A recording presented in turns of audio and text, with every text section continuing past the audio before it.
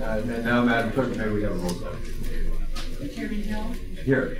Vice Chair Sokol, Here. Director Olivado, Here. Director Bates. Here. Director Caruth. Here. Director Chung, Here. Director Everett, Director Hack, Here. Director Martinez, Director Ming, Director Monahan, Director Reardon, Here. Director Shea, Yes. Director Spitzer, Here. Brian Chamberlain. You do have a form. Thank you. Public comments, Madam Clerk? Uh, we have no request to speak. Thank you. We will move on to the consent calendar, items one through nine. All matters listed on the consent calendar are considered routine, will be enacted by one vote. There will be no discussion of these items unless board members request specific items be removed from the consent calendar for separate action. Do we have any board members that would like to remove an item from the consent calendar? Item number four.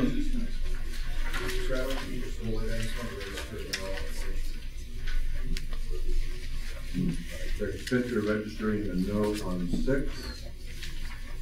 Any further? All right, appropriate for a motion. Move the Second. Uh, It has been moved that the consent calendar be approved with the exception of item number four and registering a no vote for Director Spitzer on item number six. Mr. Joseph, can I, I can still move it and still vote no on one item? Certainly. Okay. Yes. All right, there's a motion on the floor. All those in favor, please say aye. Aye. Anybody opposed? Thank you. Item number four, Director Bates. Uh, First of all, I'd like to thank uh, staff for the manner in which they present the report now on uh, the contracts that we do have.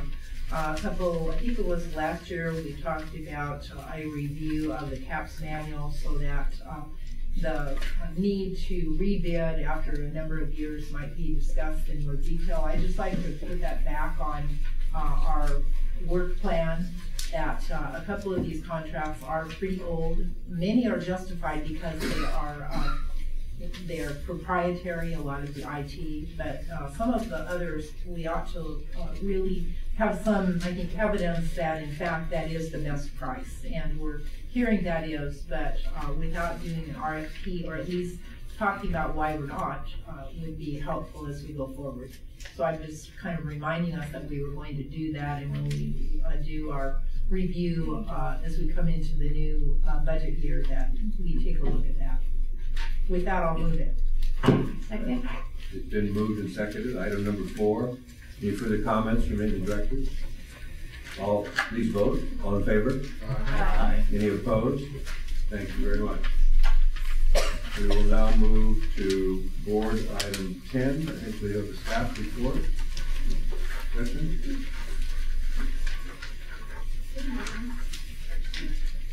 Uh, Gretchen, I'm the acting controller. Can't hear you. Good morning. We can hear you. Gretchen Lindelof, acting controller. Uh, the audited financial statements for the year ended June thirtieth, two thousand thirteen are in report ten in your board package. And today I would like to introduce Adam Henderson from KPMG, who is here to present the auditor required communications.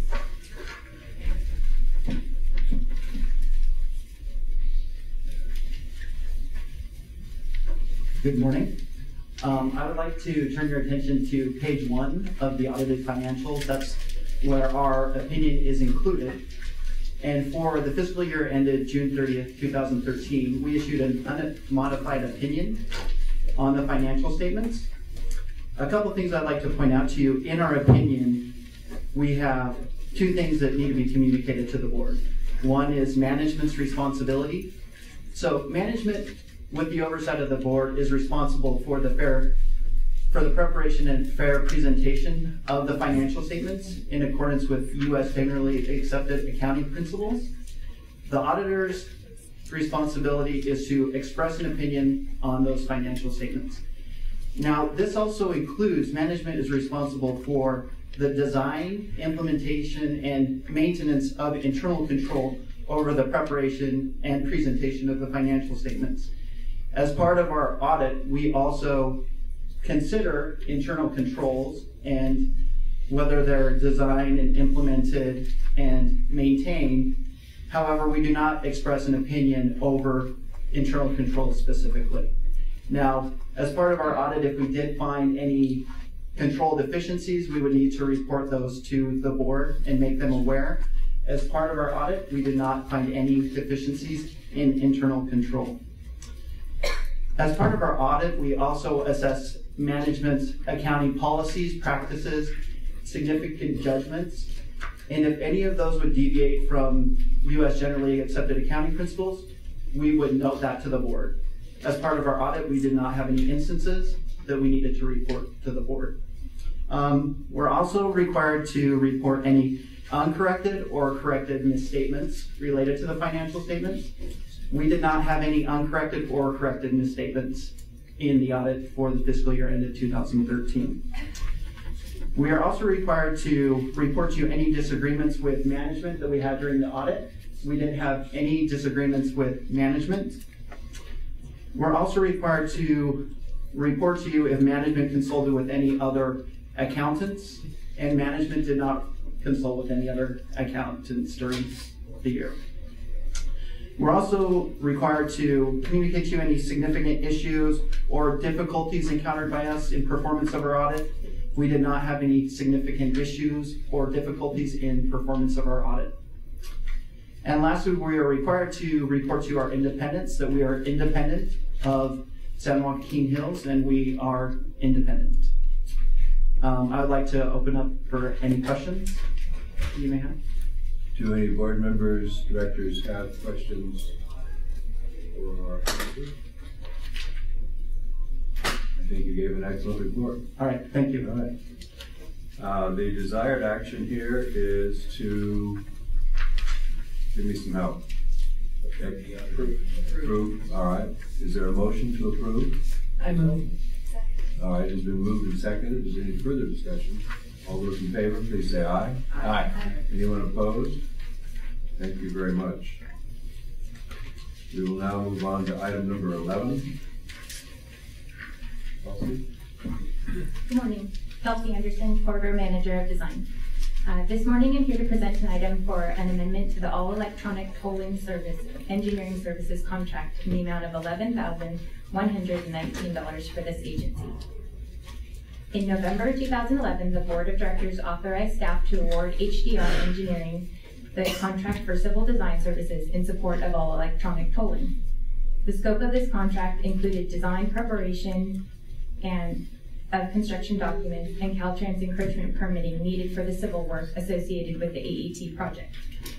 The original scope of work has been completed by HDR, and this amendment is to perform additional design services, construction plan preparation, and coordinate permit updates for the AET alternative on-road, on-road signing plan. Uh, on-road signing is important, an important component to inform drivers on any facility. For the AET conversion in particular, the on-road signing, signing is critical to alert drivers to the conversion and communicate acceptable methods of payment. The sign working group has convened to develop an alternative for the on-road signing concept that's already been approved by Caltrans to have a more customer-focused sign message. The revisions to the on-road signing concept have been finalized and are ready for final design and incorporation into the construction plans once we receive final concurrence from Caltrans. Staff recommends the approval of this contract amendment for HDR, um, and this amount can be accommodated in the FY14 all electronic tolling budget. That concludes my presentation, and I can answer any questions. Yes. When will we have an opportunity to uh, view these signs, the designs and so forth? Or will we have before they are, Um, programs go into effect? oh, today at, at, during the AET update, so, um, present the, the new sign.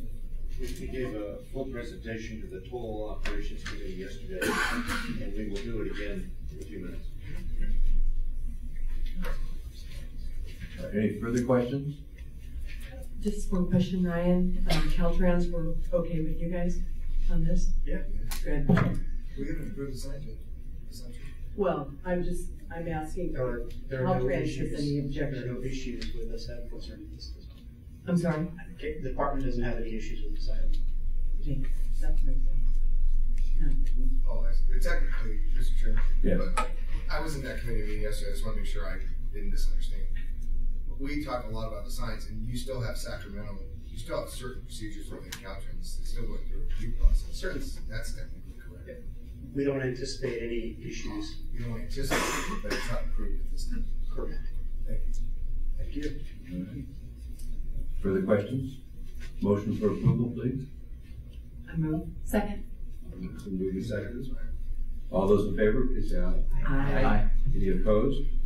Thank you very much. We'll move on to the Chief Executive Officer's report. Two items, Mr. Chairman. One is um, give you an update on the 40573 issue. Uh, Dave?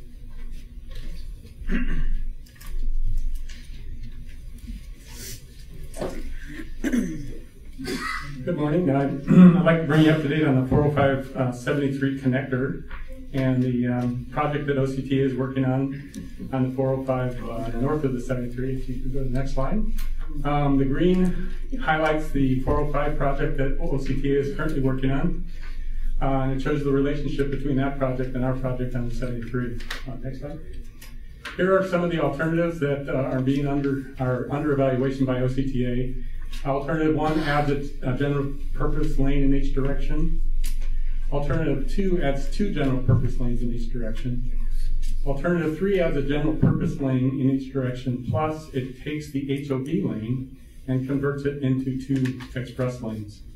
Uh, and then the concept A uh, basically has a single express lane plus two uh, uh, two general purpose lanes in some locations. Next slide. Uh, while, while this agency is not taking a position on either of those alternatives, we would like to see a connector to the median of the 405 directly from the 73, and that's our goal as an agency is to try to get that implemented as part of the 405 improvement project. Um, this slide shows you some of the revenue impacts on the San Joaquin Hills system for some of these alternatives. We did not evaluate all the alternatives, but if you look at the alternative three dual express lane with the 40573 connector, uh, in 2020 we anticipate a 4.7% increase over a no-build project, um, and the that equates to about eight million dollars in revenue, or annually, or about 5,100 trips per day additional on our system because of this connector and the alternative three uh, project. Next slide. So at the OC, two OCTA board meetings, or one OCTA board meeting and a regional planning and highways committee meeting last week, a significant discussion on all the different alternatives. And the decision was made to postpone any further discussion until December 9th at the OCTA board meeting. Uh, subsequently, there will be a number of different meetings with Caltrans and OCTA and TCA and a number of the different cities, some outreach to the cities and things like that. But our next steps will be to continue to message the um, importance of that 405 73 interchange and some of the other things that you see here. Um, we will be participating with Caltrans and OCTA in the managed lanes discussions as we have been. And then um, continue working with OCTA to try to get uh, the 405 73 connector into the I 405 improvement project. And with that, I'd be glad to answer any questions. Okay.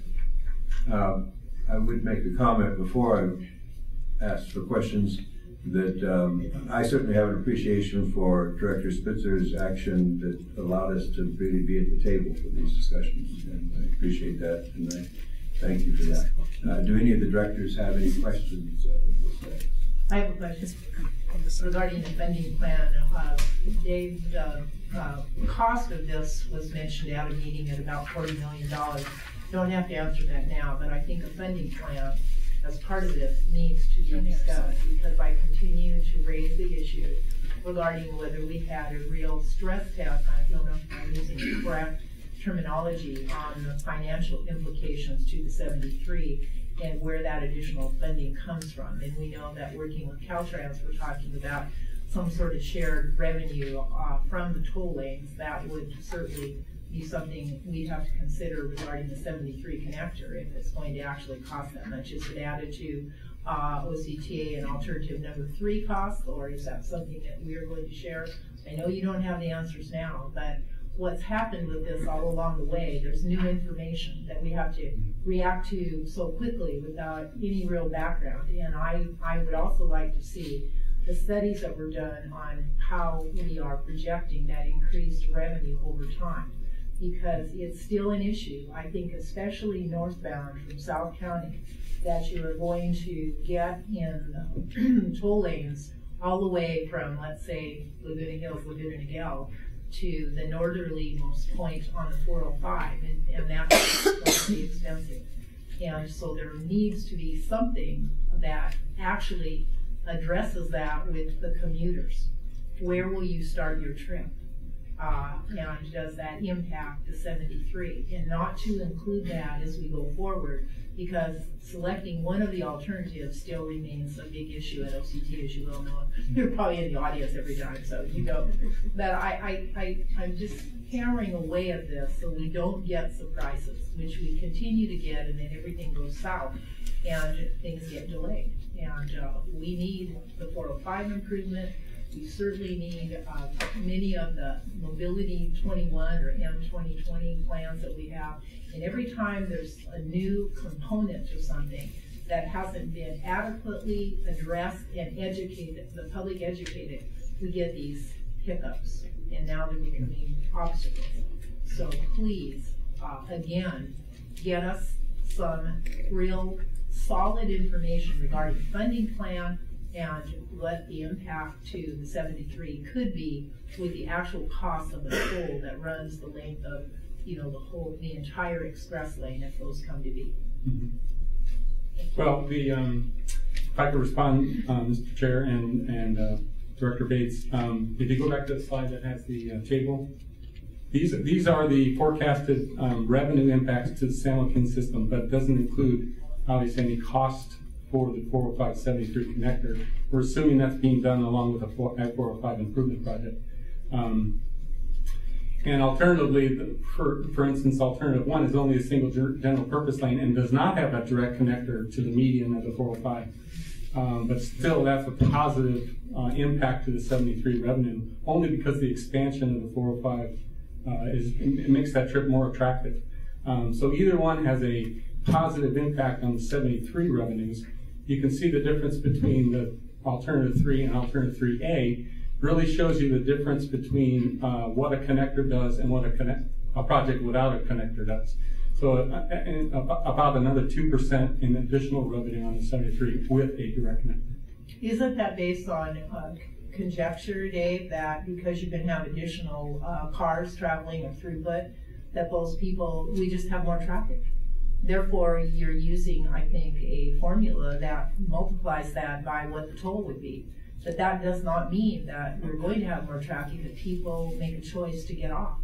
And that's what we don't have in terms of where we got these numbers. Well, these numbers come from, from, from our um, traffic and revenue consultant, Stantec, who is also working on the 405 project. Did they do a financial uh, assessment or stress test of any kind? They, they did the modeling for these two model years for the various different alternatives. Well, and that's how they came up with these percentages. Well, I'm still a doubting person, so I'd like to see uh, those numbers and, and what, how they actually determined who's gonna choose to, to take a fifteen dollar trip versus the twenty-five dollar trip, okay? Understood. Thank you. Can, can I follow up on that a little bit? I mean, that's how I think some of it's got to be so wonkish because we've been doing, we've, we've read in our studies for years. They're, I actually think they're kind of fascinating um, in a weird cultural way. So I know kind of weird. We've become kind of weird in that regard. So, I, but it also is why we know a lot about this business. and I, I think why we've been conversant on the 405 because we're not new to this whole discussion of toll roads. So two points. Where is the Stantec modeling and why hasn't, have we, have we not, rec- I, I don't think I've seen it. I mean, I think that's what we're saying. Isn't, isn't Well, actually, these are the results of it, and we were, we were to present this back in October. Uh, but as you, as you recall, that, uh, meeting got postponed because of lack of quorum. No, but this is, these are conclusions. That's not, I want to see, like, what I like to read or the assumptions, Okay. the methodology. Yeah, and we can get that from Stantec and sure. Yeah, that's, I mean, I think that's what, I think that's, I think that's what Director Bates is saying, where are the, where's the meat and potatoes, the guts of that methodology, so we can understand how you reach these conclusions. Sure. The other thing is, is that I know colleagues that no one wants to jump into the fire, uh, to the frying pan, you know, without, if you don't need to. But one of the big problems we're having, I think, at OCTA in this discussion is it's, it's being framed as OCTA versus the corridor cities that are affected by the 405 project. And I'll just tell you, Mr. Chairman, if this agency is lobbying for and thinks it would have a financial benefit to the system, then this agency needs to take a position on the project.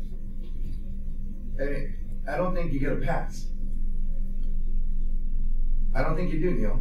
I, I think that if you want something and you're coming to an agency like OCTA and you're saying, hey, decision makers, if this could this could be a financial accruing benefit to the TCA and it makes sense to have a regional system, then the board doesn't get to take a pass on whether or not you think that's an important project. That why do we have to do the heavy lifting at OCTA to then provide a direct connect that might benefit the San Joaquin Hills and the revenue projections in the future? Why aren't why is not why isn't this agency weighing in on that project? Why are you silent on it? That's I guess it's a question for you, Mr. Peterson. I mean, why, why, why, why, why would this agency be silent? If you're doing, you're making an ask. Right. My understanding uh, is that the board has taken a strong position on whatever decision OCTA makes. There should be a connection between whatever is in the median to the 73. You've been clear on that, and that was transmitted, and you had an effect on policy. Because all the options, if I understand it correctly, the sense of where OCTA is going, the 73 connection issue is sort of been tentatively agreed to. I mean, there's not a big argument on that at this point. So you've had an impact. I think what you're asking though is above and beyond that. What's our position on option three versus option one and that type of thing? What I'm saying is, for the record to be straight, this agency was a little shy about how it transmitted the direct connect. When you got here, I think you were a little surprised. It was a, it was like a kind of an innocuous transmittal.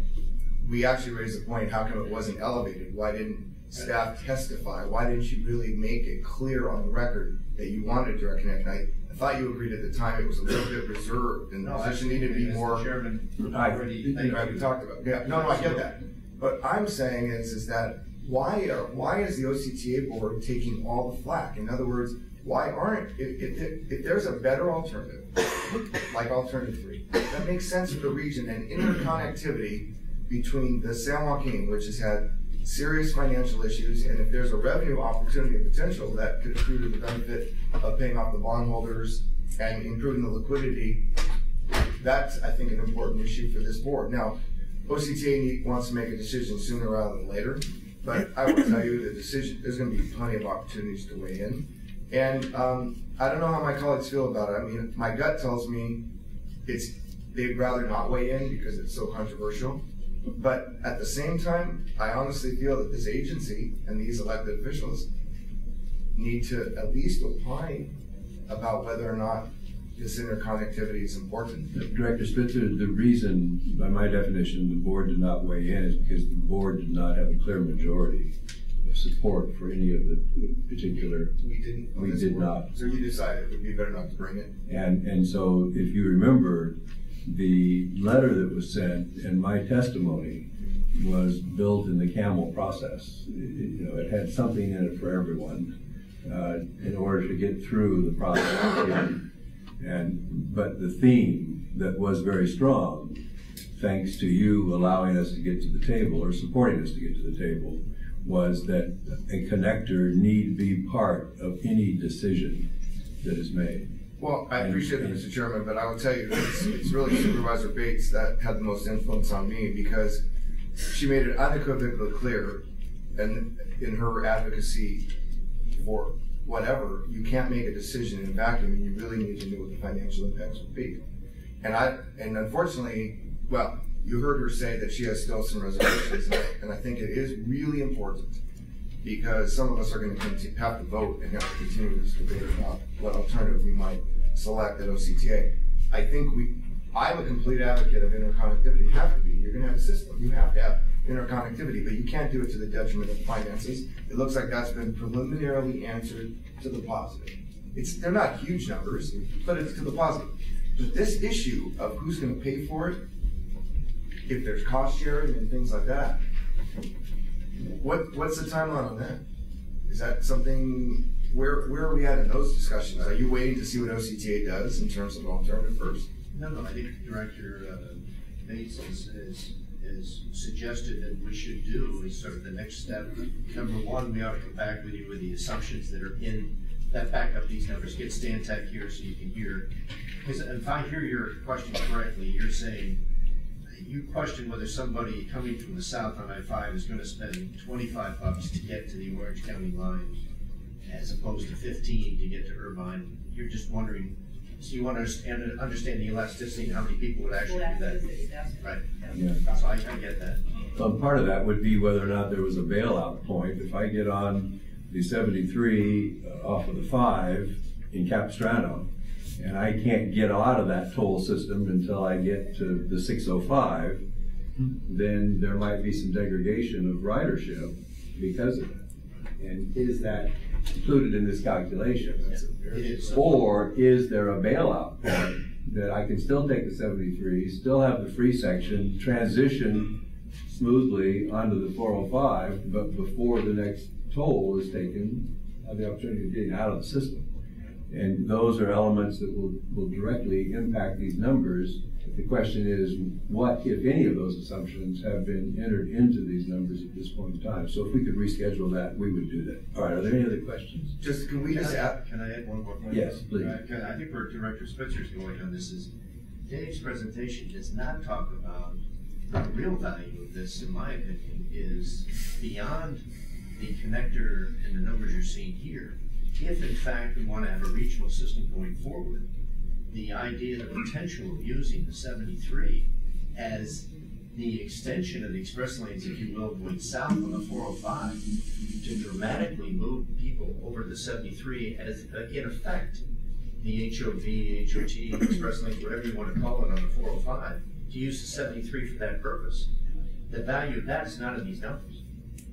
And that, so I mean, the potential here for doing a regional system where we're part of the equation uh, cannot happen without the connection. Right. So there's the real value. well, I mean, But to your provides point, the flexibility. well, to your point, the value of the TCAs has been undervalued vis-à-vis it wasn't included in the analysis on the degradation study. Correct. Which, which, which, which, and Caltrans, to their credit, came here and said, yes, our conclusions may have been different if we had included the TCA network is as part of the degradation analysis. It wouldn't affect this corridor on the 405, but it could affect the northeast part of Orange County. So that's, I think we're all pushing that. I mean, it's about making this an integrated network and understanding that all these decisions should be done on a regional basis, not as a standalone agency, but all working together to integrate these systems, which I think everybody has been pushing for.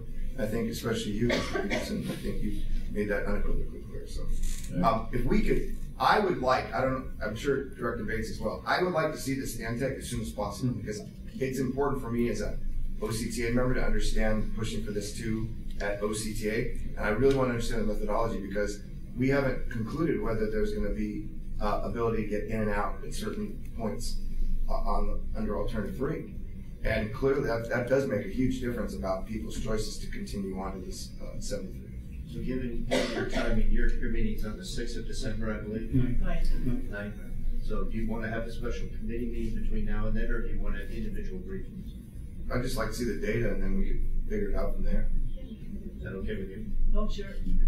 I, I'd just like to uh, give a little uh, history of my deep concern. I was chairing the 73 back when we had high hopes uh, of uh, the toll road and what it meant to uh, South Orange County in particular and our mobility north and south. And the studies granted, there's been a lot of criticism of the manner in which those were done, but they didn't match up to, the revenue generation didn't match up to what they projected in traffic. And the El Toro um, improvements happened uh, shortly after the opening of that road. So the 73 has suffered uh, the entire time with a very fragile bottom line. When we start talking about this some years later, when we're still in that very difficult uh, fragility with our revenues on that toll road, to bring something like this forward and impact it, even if it's a short time until people get used to it, five years, I mean, it can undo what we just did, what, a year and a half ago, and the refinancing, and where we're going with that. So it's not a, you know, just a simple matter. It, is a critical matter to the financial stability of the 73.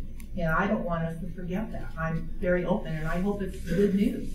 But we can't ignore it at this very critical juncture when we're making those kind of decisions. And we shouldn't, especially when you're talking about who's going to pay for the connector. Coming out of the tolls from the 73, and we've got, you know, that's very tightly determined uh, over how many years that we will have uh, the revenues to meet our debt service. And we had, you know, a, a very, um, I guess, generous reduction in that debt service requirement. Those are, those are all little pieces that coming together can be very significant in impacting financially this road. So I don't think we should just, you know, jump on board with, you know, the cheerleaders. Oh God, this is the greatest thing since sliced, bread. We're going to have a regional system. Uh, yeah, but it's going to cost a lot, and we better understand now how we get there. And those are the issues uh, at OCTA.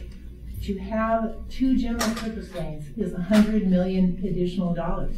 Because of that, it was not a choice at OCTA because of the cost. We're talking about 40 million, almost 50% addition to connect to the 73 with no discussion of where that money comes from. Yet we were told we couldn't find $100 million for two general purpose lanes, which is what the corridor cities want. And there's other issues with regards to does that make sense. But you know, it has to be done. If we're going to have a regional system, then we have to look at each component and make sure that that particular leg of this uh, is financially uh, viable and stable.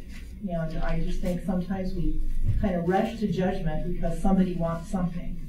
And I think the most critical thing, and I'm going to speak very favorably of Caltrans, they have told us and told us and told us over the years that they do not have the kind of money to uh, do the um, maintenance on their roads. I was in San Diego last weekend and I was really surprised that some of the areas there that really need rehab, and we're hearing from Ryan and everyone, get us some additional money or our infrastructure is really in trouble. So we have to fold that into this, and that's certainly uh, where we have a partnership as we look at all this. But you know, I, I'm just saying, be cautious with regards to the 73 because we know that it's been uh, it's been on life support a couple times.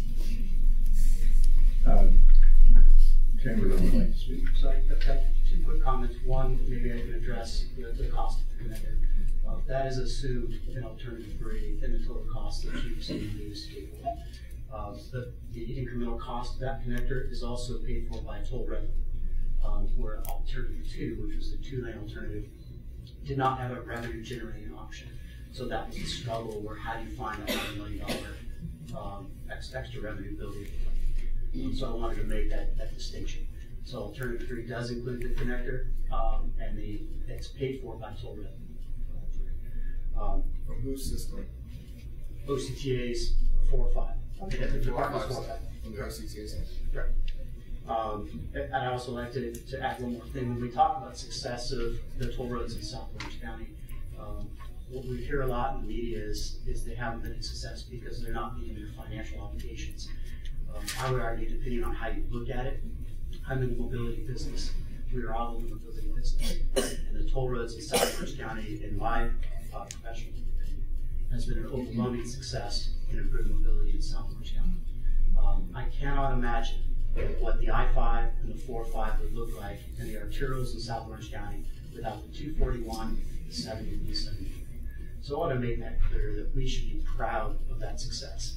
Um, being able to pay back the bondholders is certainly something that we need to strive for. But we are successful in mobility improvements in South Orange County. And let's all remind everybody of that when we have a chance. Thank you. Director Hack. Yeah. you know, Pat, pardon, Pat makes a great point. The point is people have to look at this as a totality. there's demographics that are shifting and will change. The correct question of who rides our roads has always been based on the fact that we have a very high level of people, income levels, to, to pay one of the most expensive short rides there is. Now people will come up from the south, from down in San Diego or what have you. They can bypass us because if you look at the totality and you're saying you're riding for 25 bucks, well, that's a big slot. And maybe people will say to themselves, no, I think I'm going to go somewhere else. And those are the kinds of questions that really should be on the table. It's not simply, you know, making the number and, and, and multiplying it because in effect, there is a demographic shift. And if it occurs, lots of people will say, geez, that's a totality I can't face. I think that's what we're asking to see if that is in the calculation. So while I think we need more information, I think we're going in the right direction to generate that information.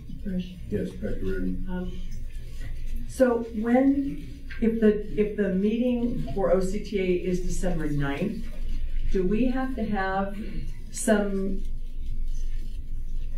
you're, you're shaking your head, you know what I'm gonna ask? Yes. I know what Okay, you're going to ask. okay, so answer my question and we'll I ask. think what we're doing is we've had two supervisors who will participate hands-on in that decision, or minds-on, as the case might be. And they have asked for additional information to help them as they evaluate the alternatives. So we're putting on both Pat and Todd to represent us.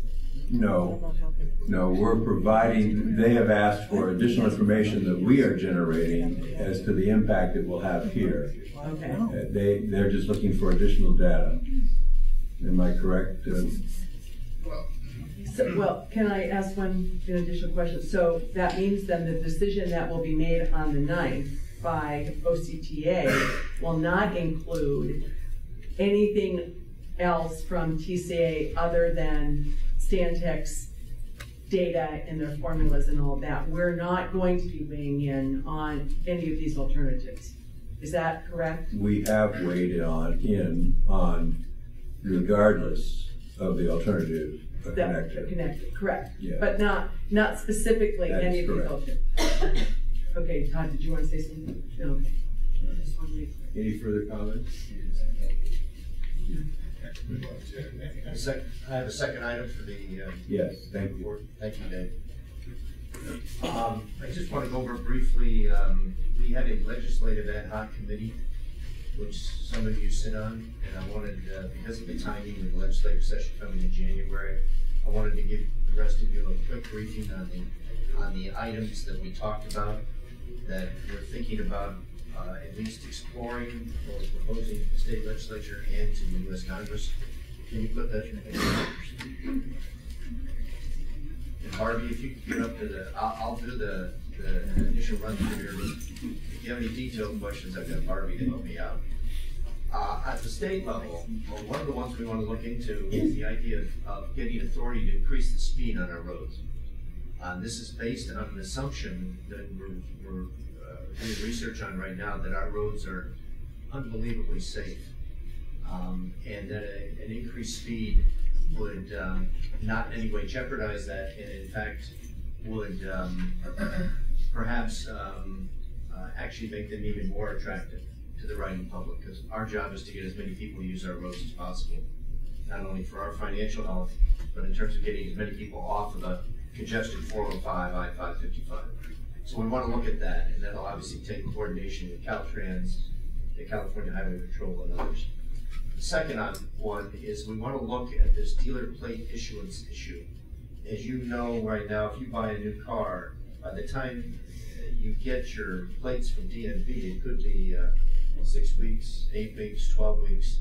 So in the meantime, you get a paper, effect- effectively a paper plate that you may put on the front dash or what have you. We can't, we can't pick up who's got the car during that period of time. And, and that's not only true for us, but all the other toll agencies in the state. And that costs us over two million dollars a year. Well, it's not an insignificant item. Uh, this has been looked at by the Metropolitan Transportation Commission in the Bay Area, they're concerned about it, and others. Proposals have been made in the past, but my understanding is they haven't been done in a cooperative fashion with the Car Dealers Association. So we've had some initial meetings with some of them and want to sit down with them and find a way to identify their concerns and, and their issues with this and see if we can find a way that's a win-win. So that's the second one. The third one is, uh, Ryan and I have talked about this. Um, I'm just a believer, it shows my age, I guess, but I, I, I, I love Burma Shave, shade bags. You remember those on the highways? We had seven in a row. Yeah, right. And, it- and the, and the message on that from a sales and marketing standpoint is you have to hear something seven times before you actually get it. And people are moving too quickly. So although our changeable message signs, when I say ours, Caltrans, and as well as our own that are on the roads today, they're so limited. If you're going by at sixty-five miles an hour and you just happen to be looking the other way at the time, you miss it, and that's the only sign that tells you about an option in front of you on which road to take. So we'd like to explore the idea of getting additional signage out there in a way that uh, meets Caltrans's um, standards and what have you, but provides the riding public with better information. Or, for example, uh, today, I don't know if you, when you came in, but you may have noticed the uh, congestion on the 133 south to get on the 405 north. Uh, well, just providing information, changeable message signs out there that say there's congestion at this particular point in time, you might want to get off of Moringa. People can choose what they want to do, but give them that information. Uh, the final one on the state level is the text messaging issue. This is, again, providing information to our customers of what's happening on the roads on a real-time basis through texting. And, and they, obviously, this has to be done carefully so that it's not a safety issue, and it also has to be done carefully from a privacy standpoint. So we're looking at uh, talking to appropriate people. We are. Um, this basically has to do with Simitian's bill two years ago that was SB uh, 1268, and it was dealing with privacy issues. And basically, um, they require us to um, ask our customers to opt in if they want marketing materials rather than opting out. Um, and we've been doing that. And what we want to do is have a, a provision that we can have them opt out, opt into without having to first opt out of it, um, so they can receive marketing materials, or not marketing materials, so they can receive text messages. And right now, we don't have that ability to um, have them opt out. Um, they have to actually opt into it, which makes it a problem for us to send text messages. So for public service announcements, we want them to have to um, opt out of the provision that they receive messages for safety purposes and for public service announcements. Mr. Chairman? Yes. So what's the, uh, I, I'd like to have a discussion about that, not today, we, we take a lot of time, but I'm not really an opt-out presumptive guy, I think you should have to opt in you know, and I think we should talk about that before that's a formal position of this agency. Yeah, if I understand it, I'm not sure I, I got the explanation, but my understanding is you want to pursue where you presumptively get it, and then you would have to affirmatively opt out. As Correct. opposed to you, uh, you ask permit, you give your permission to get the information, Mm-hmm. and so you want to reverse the presumption. Exactly. Yeah, I I would ask, don't we have to adopt the legislative platform? Yeah, thi- this, uh, the legis, the uh, ad hoc legislative committee will bring to this board a. So we'll see that. This is just background information on what we're considering. Got it. Right. And at the Fed, excuse me, question? Go ahead, no. At the federal level, um, four items. One is continuing to pursue environmental streamlining. Uh, Peter Buffa is here. I think the author of uh, a lot of work that OCTA did the last couple of years on this issue, and there were a lot of improvements in the in the MAP 21 bill on this point, but there's there's more to be done here. Uh, so continuing that effort. The second item here is trying to see if there's a way of um, of um, highlighting the importance of emergency routes, alternative routes, and key corridors, whether it be for freight or emergency conditions such as fires, tsunamis, nuclear problems, etc. Because obviously the alternative to I-5 issue, that's a critical one. Anybody that uh, was around when the, that accident occurred, what, say, two weeks ago, when I-5 stopped, I mean, there was nowhere for anybody to go. So there's got to be some uh, focus on that. And that's the second one. And then the third one is amendments to TIFIA. Um, if we plan, if, if we should plan to use that financing um, device in the future. Uh, There are several pieces of that that, that if amended would be more helpful for us. Right now, for example, it cannot be used for refinancing. Uh, It can, but they've got a policy issue not to do it for that purpose. Uh, I've got arguments on why we think. Secondly, right now, the TIFIA can only be used when it's uh, for, for uh, projects that are investment grade. I've got arguments on why it should be used for projects that aren't investment grade. So there are a few of those types of things. And then finally, tolling the interstate. Um, just right now, uh, you know, if the federal government is not prepared to step up to the plate to increase funding for transportation infrastructure through whatever means, whether it be gas tax, et cetera, if they're not, they're effectively devolving that responsibility to the regional and local levels. In that case, why don't they give us, when I say us, the state and the regions, the authority to toll and fight the politics at the local level? So that's sort of the last issue. A question about the first uh, state initiatives. Um, Are we reviewing uh, other states' initiatives that have been successful? For instance, the first one, which increasing speed.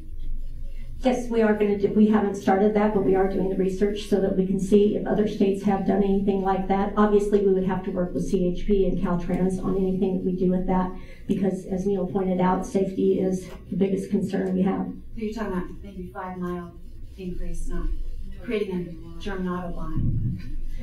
Right, well, Neil had suggested seventy-five to eighty miles per hour as a possibility, and starting high. Oh, it is a German Autobahn.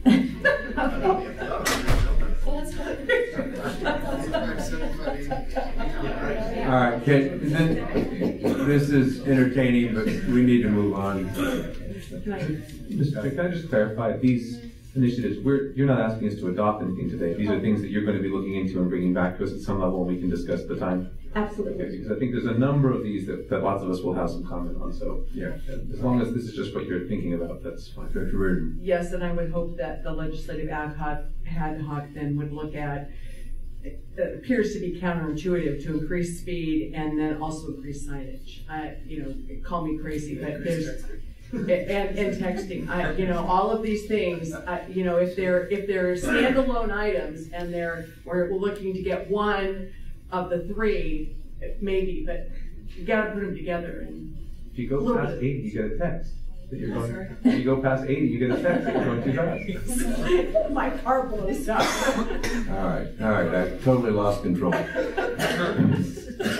All right, thank you. We will move on to my report, and I have no report. Thank you, Raj. Thank you. Uh, I had an hour one, but I'm gonna forgive it. Um, So we're now going to go to joint board session. Director Maines. Mr. Chair, is there a, a moment for one new piece of new business? I just had one housekeeping item to bring up.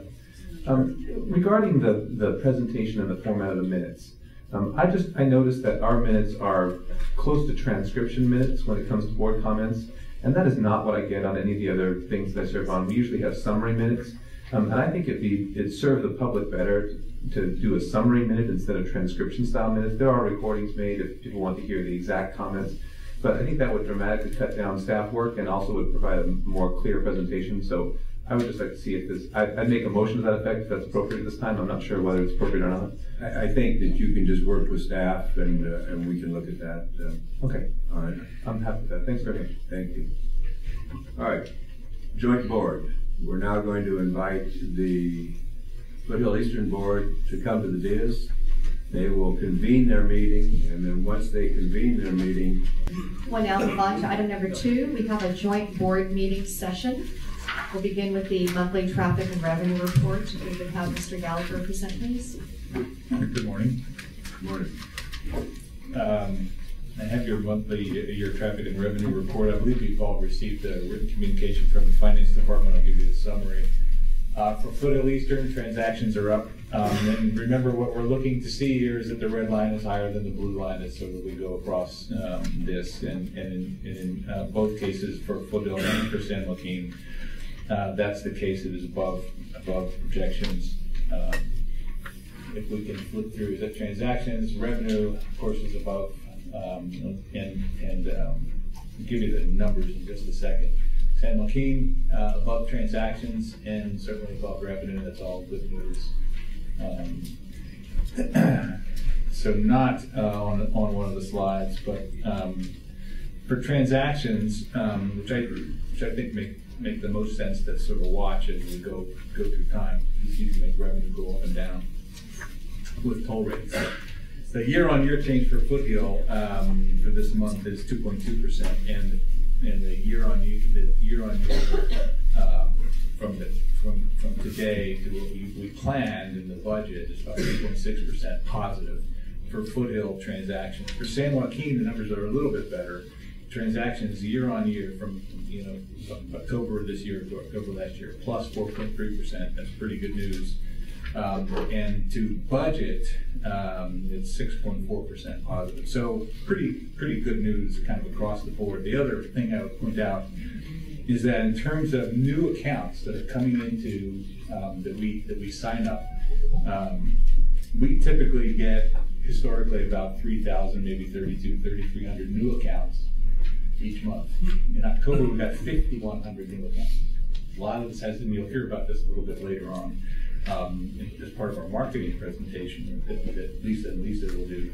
Um, but it's about 4.9% improvement year on year on accounts. When people sign up for an account, that's an indication they're going to use the toll roads. That's pretty kind of good news. All these things are sort of going together, um, and uh, it's an indication that to us that, uh, at least to me anyway, that um, people are aware of the toll roads, are coming in, signing up, they're getting transponders, and we, we as we keep that going over, and you'll see this in terms of schedule for all electronic tolling, we keep that going over the winter um, and into the spring, will will turn out, I think, actually pretty nicely.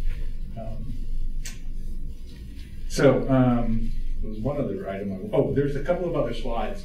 There's a couple slides that um, that Amy and the CEO have been using um, in their presentations um, with the with the bond houses um, and the underwriters, or the underwriters, but the rating agencies, right? Um, and Stantec, your uh, your consultants have have um, put these these numbers together. So in annual growth in the study area, which is pretty large, about 81,000 new jobs per year.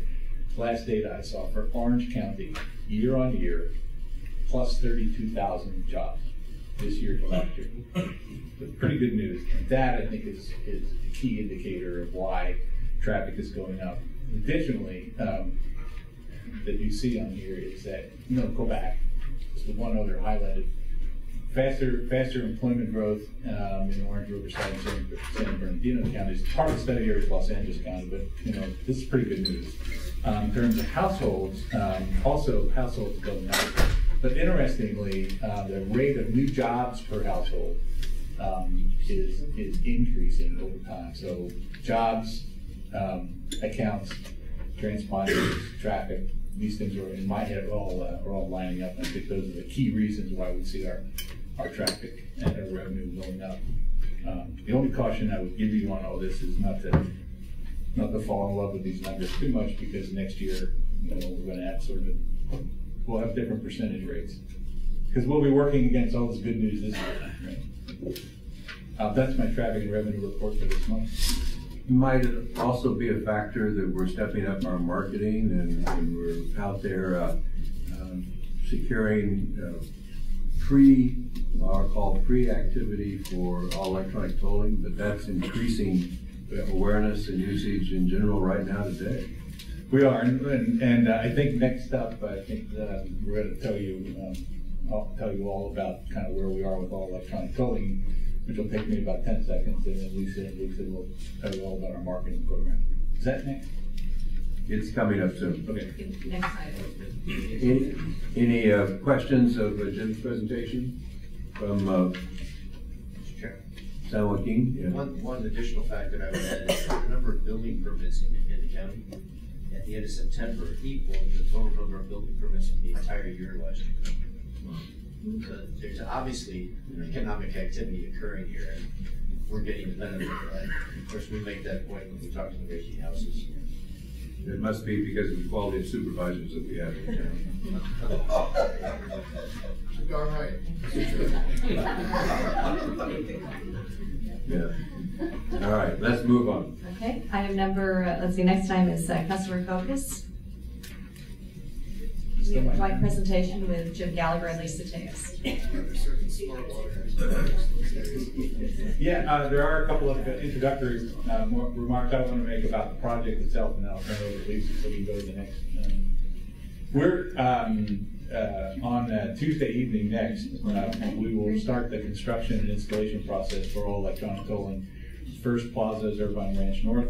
Um, and uh, the civil work will be done Tuesday, Wednesday, Thursday night, and Friday through uh, Sunday. We'll tear down all the equipment that's there, put up all the new equipment, get it all running by Friday, uh, by Monday morning at 0500, um, and, and turn the road over. During that period of time, um, we will be uh, moving all the traffic through the cash lane. So real very quickly, we've got 26 main lines to do, 28 mainline lanes, uh, 28 ramp lanes, Windy Ridge and Catalina Views. We'll do special treatments uh, for truck open road toll lanes later on in the program and ramp cash lane conversions. Um, here's a very quick idea of where all these things are, when all these things are going to happen in terms of where we're going to be at each plaza. We'll keep you up to date sort of as we go through here. We're going to do a couple, one plaza in November um, one plaza in December, and then in, because we've got to hop over the holidays and things like that, we don't want to be working um, through some of the holiday seasons. And then January, February,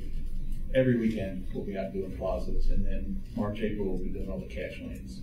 Um, and um, if, you, you, see there, May end of end of uh, cash collection, all electronic tolling. The date we have, we are all working to right now is May the seventh. So um, keep us on pretty much right on on target for where we want it to be. And absent, um, absent any rain happening this winter, we'll, should make that, we're all ready to do all these things. I think we can flip on to the next uh, thing. Ah, um, who wants to do science? Me. Okay, so here is, um, here's a, what we're going to do to close the main line. This happens to be Orange Grove. We'll stripe it out, put uh, put the candlesticks up in a barrier across the cash uh, area, and when we go to all electronic tolling. The next uh, location happens to be uh, a ramp closure, and here um, we'll stripe out the cash side, put up the candlestick, the lineators, um, barrier up on the cash lane, put a new sign uh, over top of the um, um, plaza there, the ramp plaza there, that that essentially brings uh, tells people that you, you pay with FasTrak or with an express account or pay at thetollroads.com. Uh, so um, we've talked a lot about the truck open road toll lanes and at the two plazas, Windy Ridge and Catalina View, where there are grades going up to the to these uh, plazas, we have to provide a truck a truck lane to get up the hill, and then we we're going to take the truck right through. So we'll take out a center booth, delineators, and candlesticks, as I uh, uh and stripe it out um, and that and hang the new equipment right over that lane. That'll be the truck open road toll lane. Um, and then now here's the, here's the signs that we, we were asking about a little earlier. these are on the um, these are on the there's three signs uh, overhead large that that as you approach each of the mainline toll plazas. So on the top of the sign, instructions, uh, invitation to pay by FasTrak for new uh, express accounts or at thetollroads.com.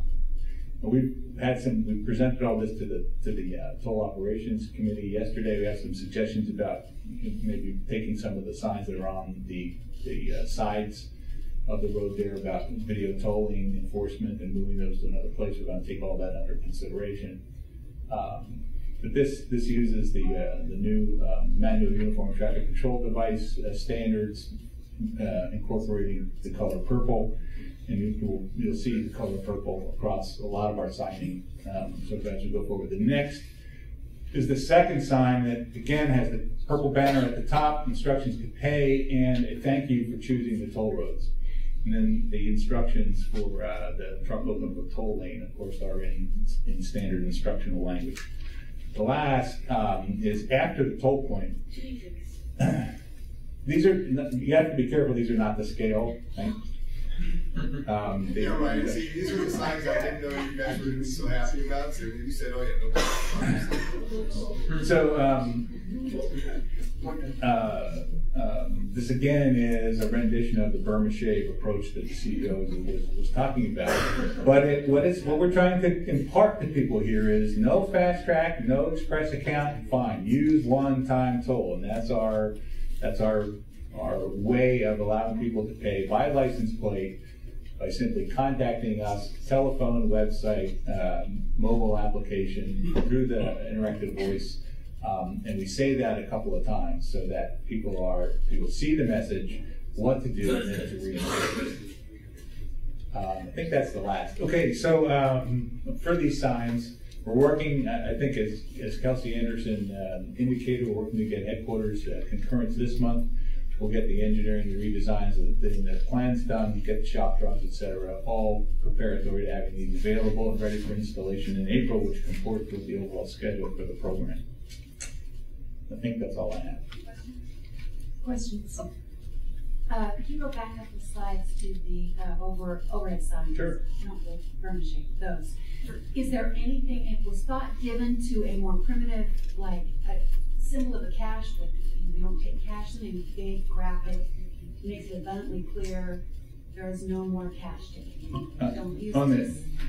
Yes, Sure, and that's, sorry. communicates it clearly, Yes, on the entrances to the that was on the, on the entrances to the um, um, on ramp entrances and on the freeway interchanges there'll be uh, signs indicating no cash.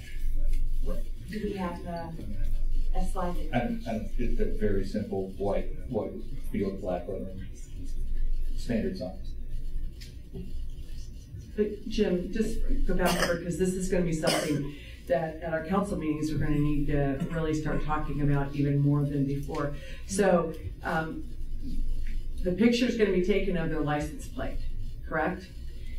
If, it- if I don't have a FasTrak, then the option is that if I, if I get on the toll road and I can't pay cash, my license plate's gonna be pic- taken a photograph of, is that right? Yes, but But, go ahead. No, Well, go- first of all, um, what, what, what we're gonna drive through is to have people sign up for a license plate account. Mhm. There's three styles of license plate account, prepaid, pay-as-you-go, and invoice. And for those people, really, really, truly infrequent users, um, the one-time toll. So, and then the technology that's used to, to make all that go is video, correct? So, If somebody. you have an account, Right, if somebody doesn't have an account though, then one-time toll, One-time toll, right? eh, eh, but they're going to get a bill? How are they gonna Not pay get that? billed. They have to take action to, to, um, to contact us and, and, uh, let us, give us their license plate from which we'll be able to derive their toll, let them know what the, what the payment requirement is. But we know from others that we've contacted, and we've been in contact, I and Lisa and others here, uh, across the country, is that, um, people went for sort of, oh, just come and drive and we'll find you and bill you through your license plate, um, have rooms the size of this one full of paper. And, and, uh, you know, bills going in and going out and notices going back and forth and crossing in the mail, a huge uh, mess. Um, and people are still working through those things and actually heading our way. Lisa, you want to say something? Yes. I think this is a, a perfect transition into the marketing campaign. Um, and so some, a few of the board members here have heard the presentation because we are going out to the uh, board. Yes. Oh, I'm sorry. Yeah. Okay. Yeah, I. So I will, will address your question when we, um, under the marketing component. I, I'm a verification person, not today. That's all I have to say. Okay, did Director Murphy? Yes, sir. Thank you. I, I guess I'm gonna go to the other end of the spectrum from a financial standpoint pragmatic. How much, and I should know this question, but I don't, how much of the tolls currently are being paid in cash? About 16 percent of transactions, about 19, 20 percent of revenue. Okay, so my instincts would say one of the things we need to really think about when we're looking at our growth numbers next year is plan on being about twenty percent at risk. Because I, I, there's lots of good people out there, but there's lots of people that'll never bother.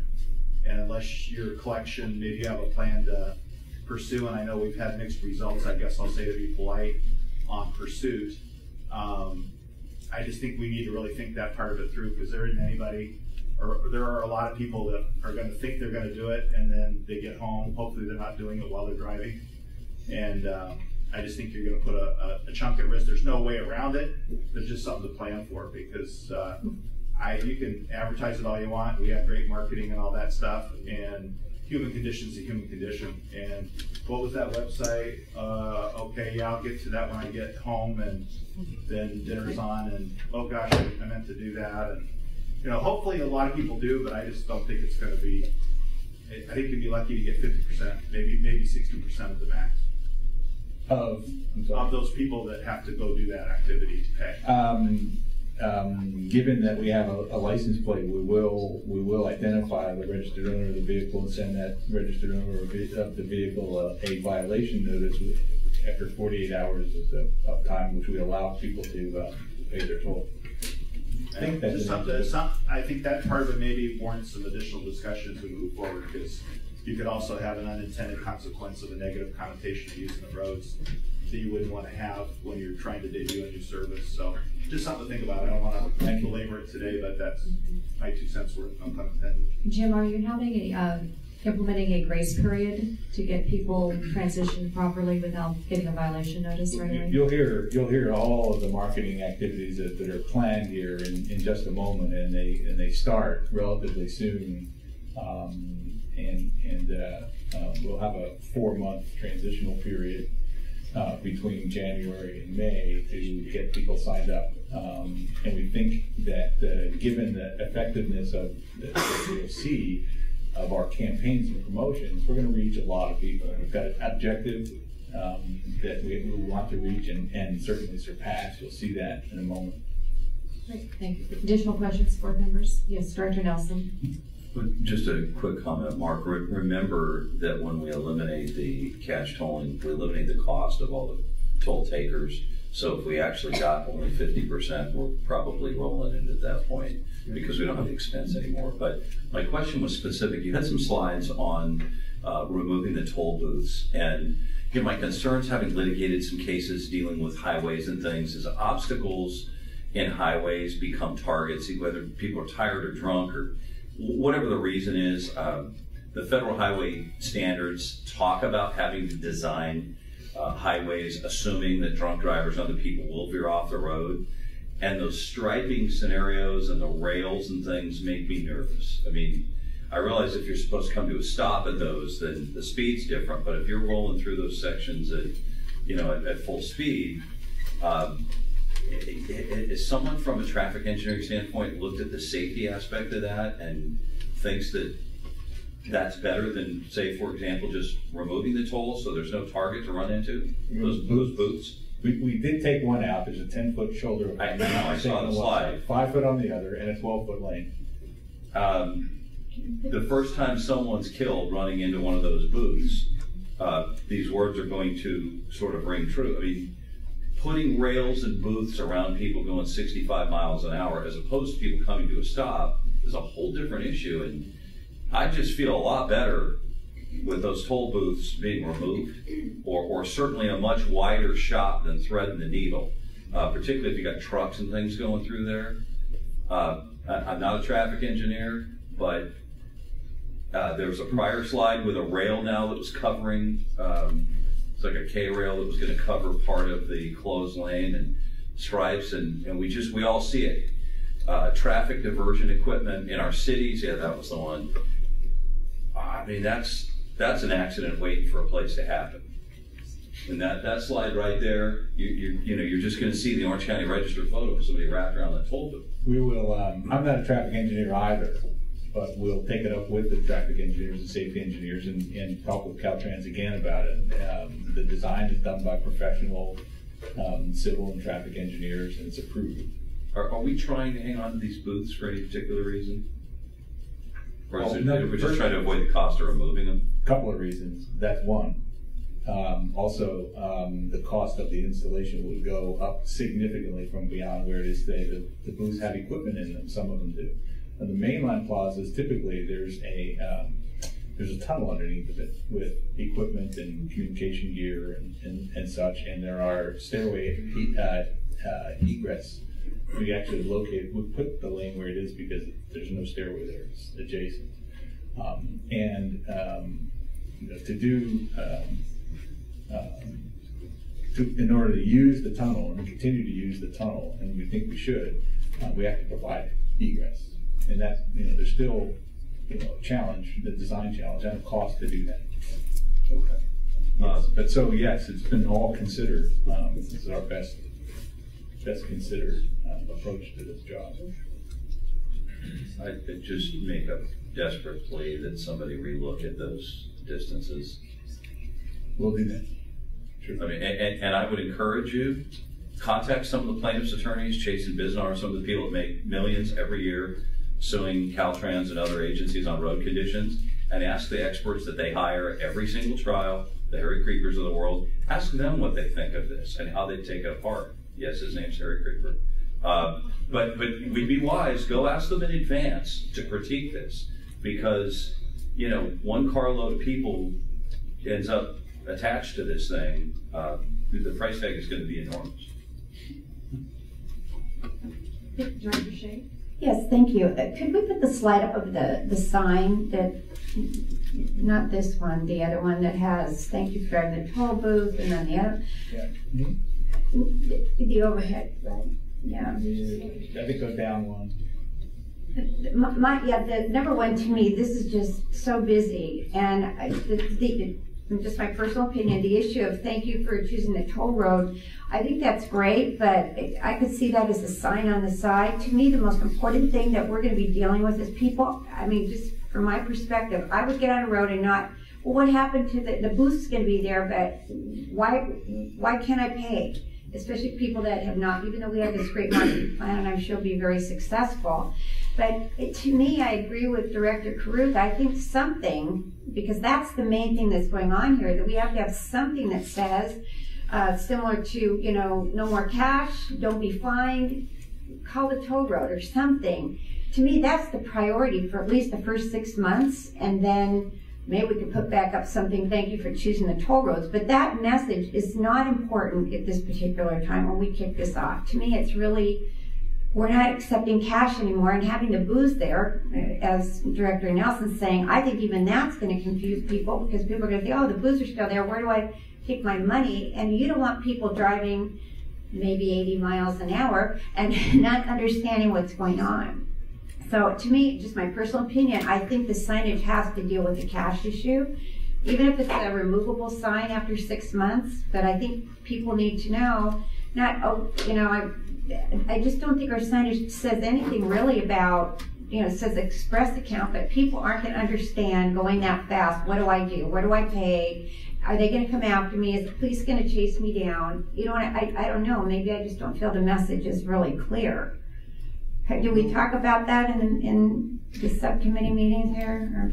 We, we have, and we've, we've thought about all those things, but we'll, you know, I think that's a good point, we'll include that in our. At least the first couple months, even removable something. I don't know how, what kind of Don't, don't worry you about would how to do it, but. but, you know, I think your point is, is well taken, and we'll, we'll see what we can do with it. I would add to that, uh, Jim, uh, one thought would be because the toll booth is still there, there might even need to be a sign that says do not stop. There are. All right.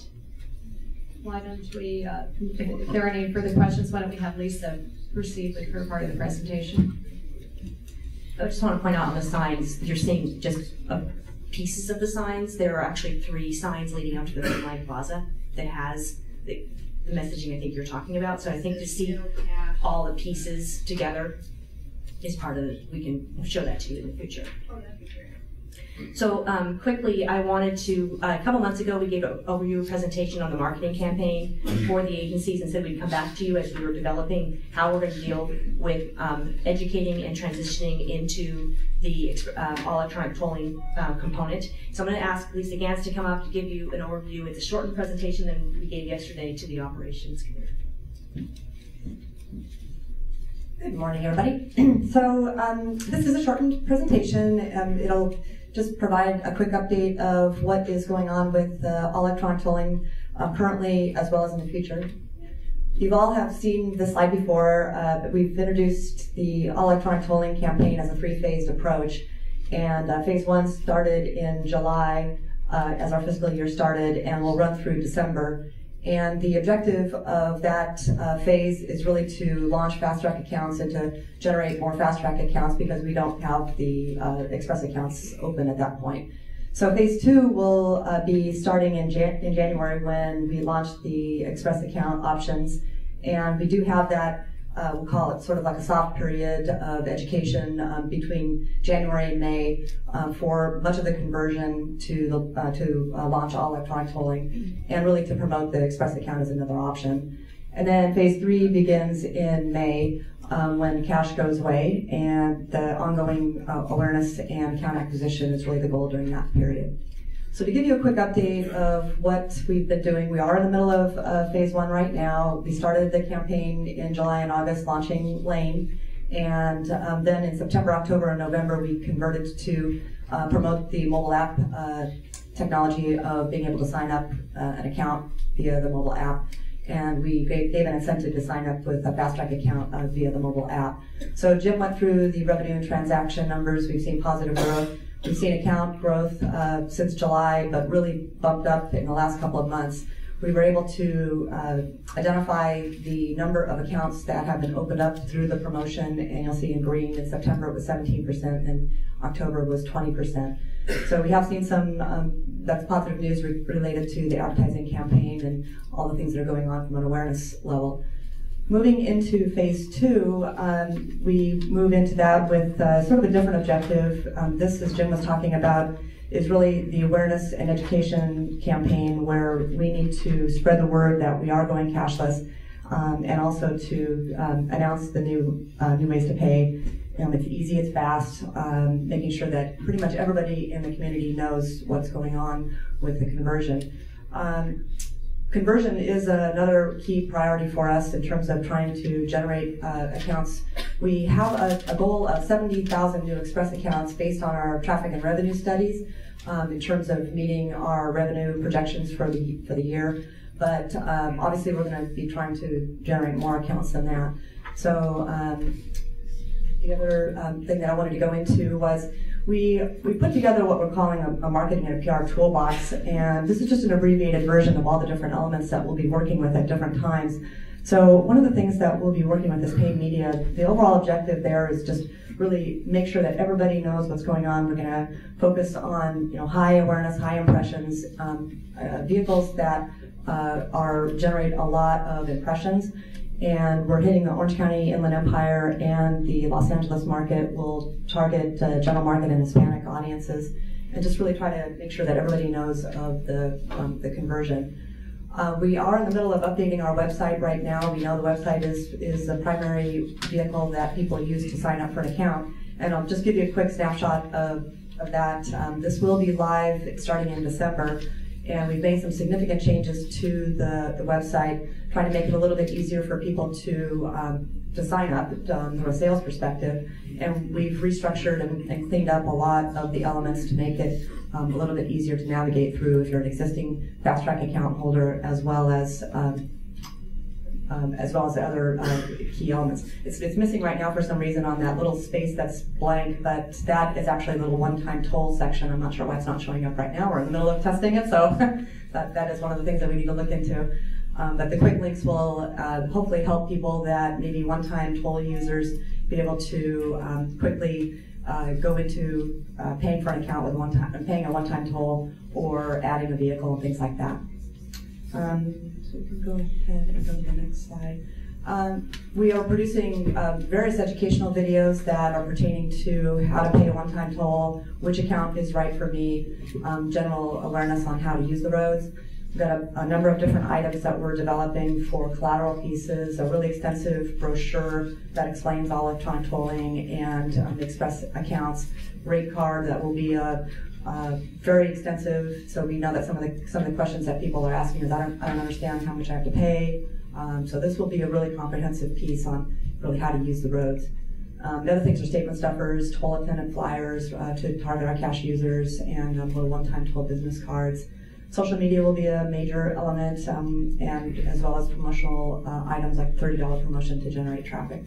Um, And quickly, we will be um, supporting all the paid media components with um, public relations and outreach. So we'll be uh, promoting the promotions through um, through the um, press media. Um, we are working on issue management. Certainly, we are aware. We work with the other agencies across the country that have switched over to all electronic tolling and know the concerns and issues that have come up and how to manage those. Um, we've launched a speakers bureau, and we will continue that um, as well as planned events. So when the signs are installed, when we launch the All uh, Express accounts and getting media out for special events, and also uh, booze and outreach, and also construction outreach. So informing both the people who are driving the roads about some changes to their drive or detours, as well as neighbors that are near the road that may hear noise. Um, I did put one of our show and tell items is a license plate. You guys all have one in front of you. If you'd like to take it with you, it's easy to stick in a file or a briefcase.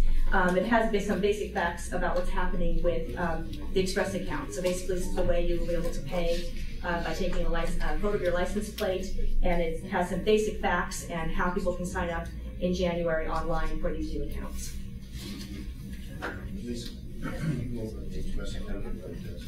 Yes. So the um, there are still many FasTrak. Eighty percent of our traffic today pays with FasTrak. Sixteen are paying with cash. We did research with our cash customers and asked them why they haven't signed up for FasTrak. Um, some of the reasons they haven't signed up is why we developed the Express account. The concerns people had is prepaying their money into an account.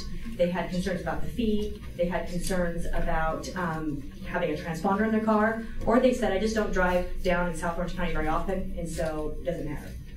And I'll, I'll pay cash or I won't use it." So um, the Express account was designed with your license plate. There is no fee associated with two types of the accounts. There, you don't have to prepay into the account, and all you need to do will be, will be to give us a credit card, your license plate number, some basic information, and then the day you drive the road, that is the day you'll be charged the toll.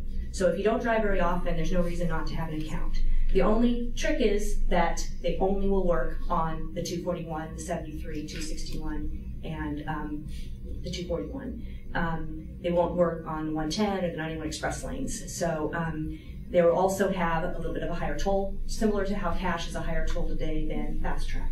Um, so it adds more options for people that the FasTrak transponder isn't fitting into their home business financial model, um, more options, and uh, we're going to be doing a big outreach campaign to the local colleges because we think this is going to be a great way to, to kickstart people into using the toll roads.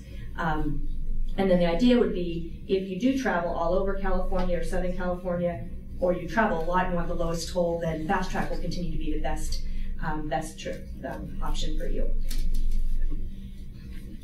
Questions? Um, I think Director May, then Director Caruth, and then Director Reardon.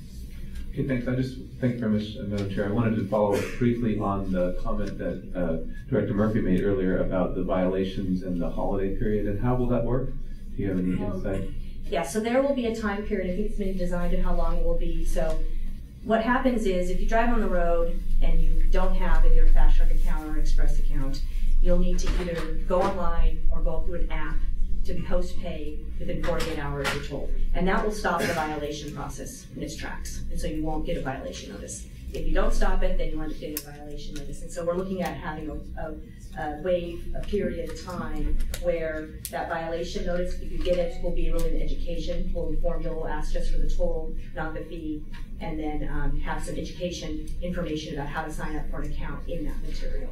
So for a certain period of time, you'll get a letter that says, this would have been a note, a violation, but you're not going to get a violation because we're in the implementation period, and so please go online and pay your toll.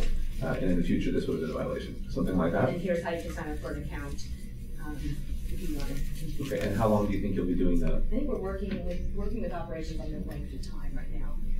We're still working, you know, be reasonable. Yeah, I think that's gonna be really important to making sure you don't get public backlash.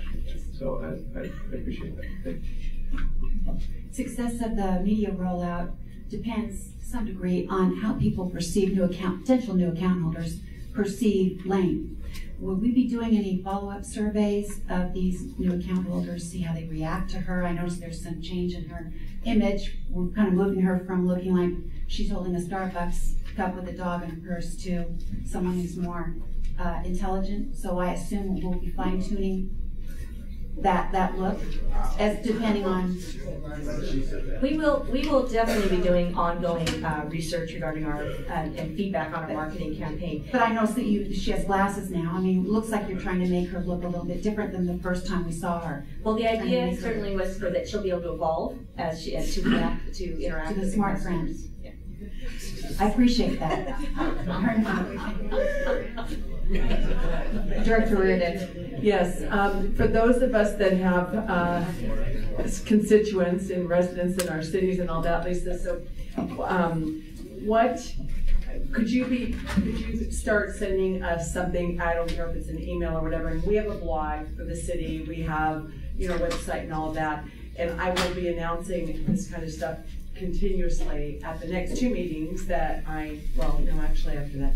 Um, so if you could just give us some talking points and just get us through that, and then we can give, we can put it on our blog, so we can do what we can do to help, um, all of our residents understand what's going on. Right, and we're really work, working January to really start publicizing um, and talking in the media about the program, because that's when you'll actually be able to go online and sign up for one of these accounts. Right now, you physically can't do it. We do have a, uh, sign up, uh, give us your information, and we'll put you on a list that we're doing now with the Speakers Bureau, but our goal right now is through the holidays to speak to the cities and some of the, some major groups we're talking to, um, and getting feedback. We had a great meeting with, um, an organization that uh, coordinates all the senior centers in South Orange County because there's a lot of we're, we're not going to go through all the parts of the presentation but there's broad media but there's also some target audiences we know we need to reach out to uh, the tourism industry um, senior community college. There's some targeted programs we have.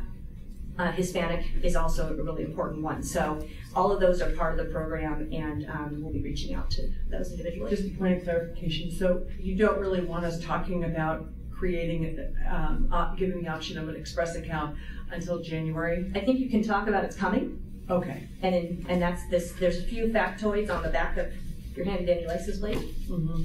that has the basic information that you can start talking about. We really love to appreciate it. If there are any groups you all have that uh, want to have a presentation, or if you want to be part of that outreach, um, we can help provide additional information. We have a PowerPoint presentation that we've developed.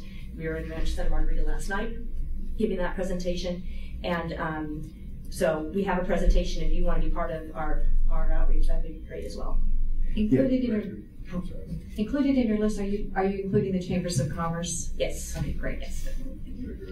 Yeah, I was just gonna add, I, I think Rhonda's right on in terms of utilizing, uh, every, every city in terms of our board meetings. And there's two ways you can do that. One is to actually have you, you know, invite you guys to come and give a formal presentation. But it might also be nice to have, um, you know, uh, one or two or three chart updates that you make available to all the cities that we can in January show this kind of an update, in February this kind of an update, uh, in March invite you in, whatever. It might be nice to have a more organized program for us to communicate through our um, board meetings or council through, meetings. through January through May. Right. That'd be great. And we should do that. Something new each month. But uh, if I could just emphasize, the, the idea of the license plate is to give you something right now that you can hold up, and it's got at the back of it the talking points. And you can, uh, correct me if I'm wrong, is you can sign people up now, they just can't, they can't get billed that way until January one, but we do have flyers for everybody, for people that wanna sign up in advance, so you don't have to wait till January to sign up. Yeah, and just a follow up on that sign up, people that are converting from the current plan that don't use it but might have sixty or seventy dollars in that account, are we going to refund their accounts? Right, if you close, When they if you close? close, if you decide, um, if you, now, remember that the a FasTrak account will still be the lowest toll and will also Right. allow you to drive all over the state. Um, but if you choose to clo- um, change, you'll- that account would have to be closed and then reopened, and then, Got I it. guess that's a good question about if you have a balance. It Depends on what you sign up for, because there is a way to have a prepaid, uh, express account as well. Yeah, mine's always at about sixty or seventy dollars. Okay. And, and I don't use, it. I don't drive that much outside of San Clemente, except to come to these wonderful meetings. Yeah, I note that, uh, we have options that there are no monthly pays on some of these. Yes. Could you distinguish between when, what these options are? In other words, we normally charge two dollars a month for uh, people who use it less than a, a certain amount. If you use less than twenty-five dollars per transponder on your Fast account, there's a two dollar monthly fee. Um, under the express accounts, the, the prepaid, so if you, you can pre, do a prepaid account, if you want to put money into an account, have a draw like a FasTrak, but not have to have a transponder, there will be no monthly fee associated with that account, or the charge account, which is where you, um, put out your, you give us your credit card, and then that night you use the road, it charges your credit card. So if you don't drive the road very often, the day you use it, that's the day you'll be charged, and there'll be no fee with that. If you choose an invoice, we're also offering an invoice account. We heard from our customers they'd rather be invoiced. Um, those, there will be an invoice fee. Any further questions? Just one request on, on a future meeting, since we're, we're tracking the effects of the marketing campaigns. Are we capturing or can we capture the data? I'd like to look at the new sign up six months from now. I don't know, is it more intelligent if I do this? When I put my- Um, uh, Can we track, can we track this stuff six, uh, not- no problem. not from this side, right? Can we track, what I'd like to see is you sign somebody up, six months from now, did they sign up just because they caught at the weakness of the moment and they have seventy dollars in the account, like um, my good colleague over there? Or are they using it? Because to me, the business you're trying to drive is, is is somebody that signs up new and is suddenly using the thing, you know, 30, 40, 50 dollars a month, I would assume. Yeah, so it'd be good to me- be good to measure that if we don't have it on, on this new campaign, it'd be another way to see the effectiveness of the market. And we certainly have all that data related to how FasTrak works, and so, we- you know, once people sign up for the express accounts, are they a different type of customer? Yeah, cool, thank you. Chairwoman, just very briefly on the educational videos, um, can you provide that to us so that we can put it on our Facebooks as Oh, yeah. well? So that we can get the message out, and then as well, if you can provide that to me so I can give to my staff and possibly put it uh, as a public service announcement on our channel three, we can go ahead and rotate that, and so I just have to give it to my Parks and Rec director, and they'll add it to our, as a PSA. We'll do that. Additional questions? Okay, Thank you. We'll move on to contractor recognition. Jim? Good morning. Um, It's, it's my um, privilege um, to um, recognize um, one of our contractor employees. And this month, um, I, I, I will introduce to you and I want to recognize uh, Jesse Childers. Jesse is sitting in the back of the room. Jesse's right there. Stand up, Jesse. Thanks. Um, Jesse's uh, uh, the, the installation supervisor for Transcore.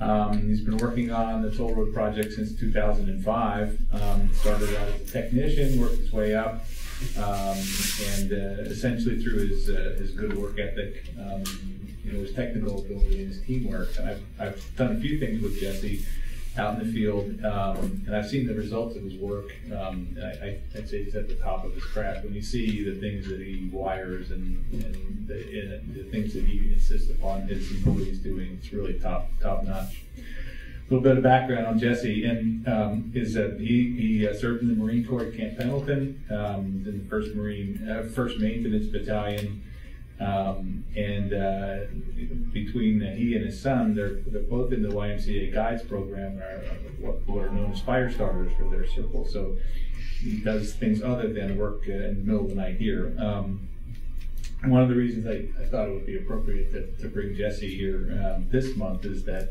starting um, next Friday, a week from tomorrow, he'll be busy every weekend through um, um, through June uh, next year, um, working on installing all the toll equipment. So um, when everything goes right in the field, Jesse did it. if anything goes wrong, it's my my problem to deal with. Um, I really feel feel particularly lucky that I've seen a lot of um, and work with a lot of, of professional individuals of, of, of uh, Jesse's caliber and ability, and he's one of the top ones um, that I've I've uh, ever had the pleasure to work with. So he's going to be doing and supervising all the work for our electronic tolling program. Um, he's been successful so far over the last five, six years in doing all these things uh, already. So I have absolute confidence that we'll come out of this from the installation perspective absolutely right. So, um, Jesse, thanks very much.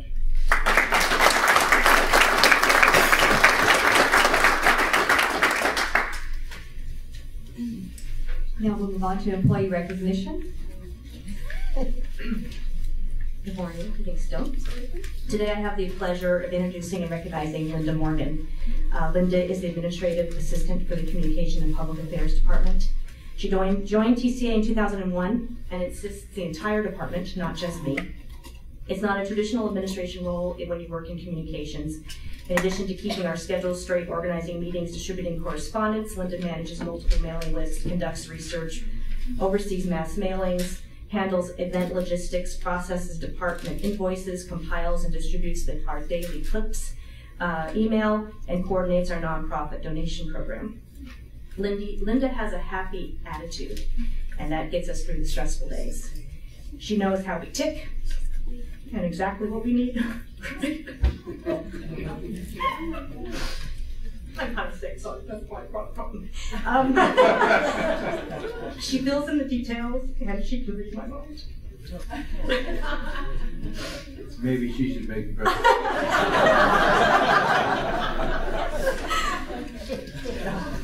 My goodness. Well, you see me all the time. Um, it's people like Linda who work behind the scenes, day in and day out, that keeps TCA running.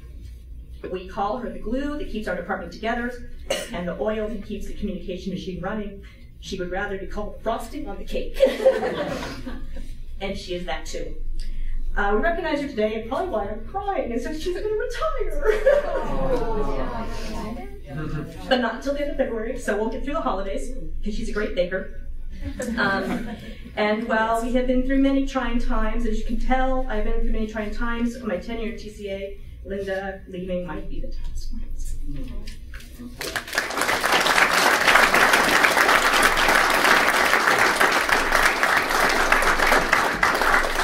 I know she's prepared some, something to say, Good morning, everyone. Um, it, was a big surprise and a great honor to receive this recognition. And I want to thank the executive team for selecting me, and I also want to thank all of my coworkers for um, thank you for for being there for me and for making my job easier. Thank you.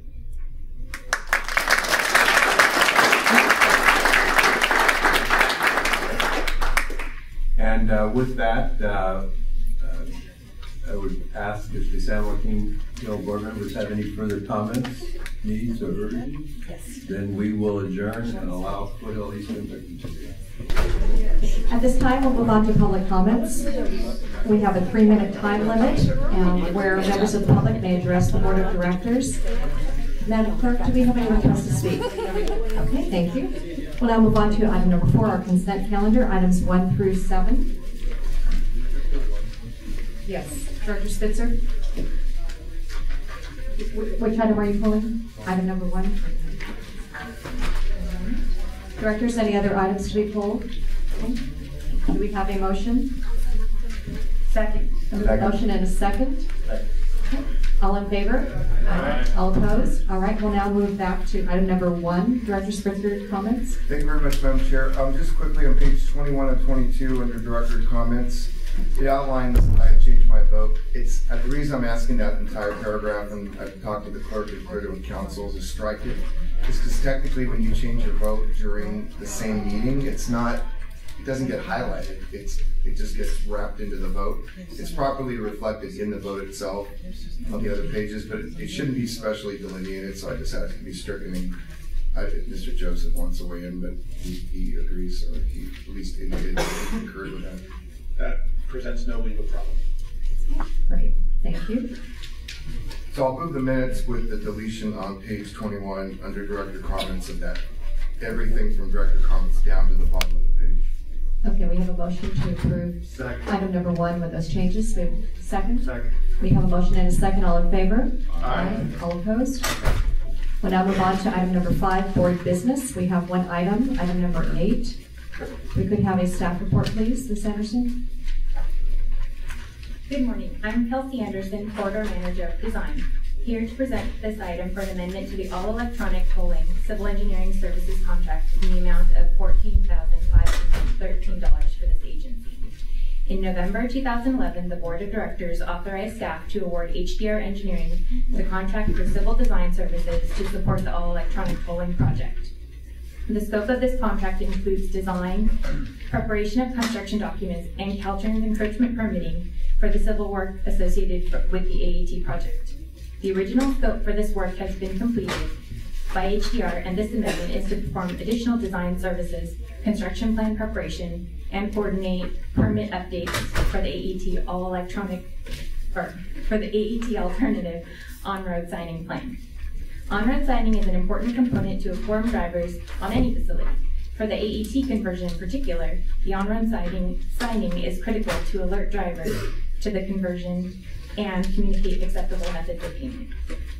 The TCA Sign Working Group has developed an alternative on-road signing concept with more customer-focused sign messaging, and the concept is ready for final design and incorporation into the construction plans once we've received Caltrans concurrence. Staff recommends the approval of this contract, excuse me, amendment, uh, and this amount can be accommodated in the FY14 AET budget. That concludes my presentation. I'd be happy to answer any questions. Thank you. Directors, any comments, questions? Do we have a motion? Second. Okay, we have a motion and second. All in favor? Aye. All opposed? All right, that item passes. We'll now move on to our Chief Executive Officer's report. Madam Chairman, the most important item the report is the status of our financial um, discussions with the rating houses and the refinancing, and maybe you can up uh, give you a a current status report. Thank you. I have two um, brief updates to make. Uh, The first relates to a debt service reserve fund enhancement provision that we've included in the bond indentures for the refinancing transaction. Uh, The debt service reserve fund will be funded at less than maximum annual debt service based on uh, tax provisions. So what we have done is we have added a credit enhancement provision that would add amounts to the debt service reserve fund um, based on a trigger. So uh, in a year that we didn't meet our 1.5 times coverage that we're expecting uh, to achieve, we would add 2.5 million to the debt service reserve fund. Uh, this has proven to be very helpful in our discussions with the rating agencies, which is um, brings me to my next topic. As you're all aware, um, we you know, yes. Yes, Dr. Spencer. Before you change that, is that, you, I- you, I know you spoke English, but sometimes it's way above my head, I apologize. That, was that consistent, with what you talked about, was that consistent with the rainy day discussion we had? Is putting money aside for the floating debt? Is that what you just covered? No, that is something separate that um, we will be discussing first with the ad hoc committee and then um, bringing forth to the board. So that is something that we will be working on as a policy as opposed to something that we're actually including in the bond indentures. Okay, so, okay, another time out. So then what did you just say before that? So what we have done is we have included a provision in the bond indentures that would um, enhance um, our debt service reserve fund. So right now, currently, um, the way we presented the transaction to you is the debt service reserve fund will be funded at an amount that is less than maximum annual debt service, which is the amount, the, the one year where you have the highest amount of debt service. And the reason for that is that we were restricted under um, tax law provisions to uh, funding it at an amount less than that. So what we have done though as a credit enhancement is added a provision that would add money to the debt service reserve fund um, up to the, the amount of maximum annual debt service. If we, um, in, in one year, in one given year, if we don't meet 1.5 times coverage, that year we would add 2.5 million to the debt service reserve fund, up to though maximum annual debt service. So we're talking about um, 25, roughly, roughly 25 million dollars um, potentially. So it's only if you don't meet your coverage in a year that you would add those amounts. Okay, thank you. Thank you. So with our, with the rating agencies, that has been helpful in our discussions with them. So as you're aware, we have received an investment grade rating from S&P, and we are expecting to receive a second investment grade rating um, possibly tomorrow. So um, we continue our discussions, but that, as we had mentioned when we presented the refinancing transaction, we need two investment grade ratings. So uh, we could potentially be meeting with investors towards the end of next week. So that concludes my report. Be happy to answer any questions. Questions, directors? Just a technical question. So this thing that you said you added, the board authorized you to do a certain deal within the confines of the documents we had at the last board meeting. So under what provision of that authorization were you able to make a change? Um, because this was within the provisions where we were given authorization to uh, modify the documents as well. We're not changing the structure of the deal. So what we're doing is we're just enhancing that debt service reserve um, by adding this provision. So um, I did check with our bond counsel to ensure that it did meet what we had presented to the board and what you've approved. So that's why we're just updating you now to let you know that we have done this, but um, we believe that it's within the authorization that you've given us. Okay, then my other question now is that, now that you clarified that, thank you very much, is if you reviewed the minutes, and I'm sure everybody did, and they're very detailed, as Director Ming had outlined before, and I commend the clerk, it- it's, a- it is a, basically a blow by blow. It, it is unequivocally clear now, as just adopted in the minutes, that the minutes were adopted with staff recommendation, not with all the other safeguards or whatever you want to characterize them, a lot of the other potentials that we had said we were looking for, was the rainy day fund. So that did not get carried for the minutes that now have been formally adopted. The rainy day fund did not, was not part of the motion. You, you agree with that now, right, after looking at the minutes? Yes. Okay. So now what are you doing to, now, that's, I'm, I'm curious. That was one of the reasons I voted no, because I really wanted a rainy day fund, and then the motion got made to not, I think, I'm not sure if there was confusion or whatever, but the point was it wasn't in there. So now what happens? Is the rainy day fund something that everybody thinks, not here, I'm saying on your side, that thinks it's a good idea and you're gonna be working on that? Yes, actually, we had a message sent from our CEO out to all the board after that meeting. I saw that. Yeah, indicating that that was our plan, was to work through the ad hoc committee to develop a policy and then bring it forth to the board. So we are working on that currently. Okay, thank you. And just to clarify, in addition, to the two other items that met the same criteria. One is that we had board members come back to the rating houses, which we, which we did, even though it wasn't in the motion. And the second was to keep the ad hoc committee fully informed as to progress, and we've been sending out emails and making phone calls on both of that as this has gone on. I think, uh, you know, Amy, um, uh, deserves, uh, a, a lot of credit here, which she's not reflecting is the amount of work that's going on since our last meeting here with the rating houses. This is not easy. And, um, if you recall, we had expected the rating houses to give us a, uh, a reading, um, what, at least two weeks ago by now? Uh, so it's taken two weeks longer to get the rating houses decisions than we thought. And that's not because we weren't there giving them everything they needed, it's because of the, the back and forth. So it's not been an easy process, and as Amy indicated, we're hopeful, we can't announce anything, but we're hopeful that by the end of the week, we'll have a second positive. And with that, uh, our invest, our financial advisors, um, feel that we, and we have a few of them in the room here, if you'd like further comments, they feel with at least two positives, that we can go to the market. So that's where we are. A lot of, a lot of work has been put in by Amy and the finance, finance team we've had here in quite difficult circumstances. So what Amy has just done is indicate, in, in this process, we've had to enhance our credit a little bit, uh, to, to, to- satisfy some concerns that the rating houses have had, and she's just reflected what the one item is that is different from the one you saw before.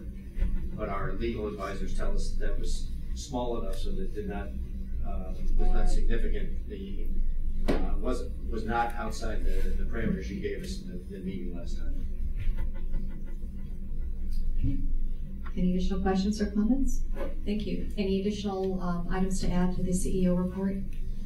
Oh, I'm sorry. The other thing I had was a review of our legislation, but I think one of you probably heard that Mhm. earlier, and without like you to go through that again. Can you do it at high speed? Seriously? That's a joke. That's a joke. Speed limit. Got it. Well, we'll now move on to directors' reports. Directors, anything to report?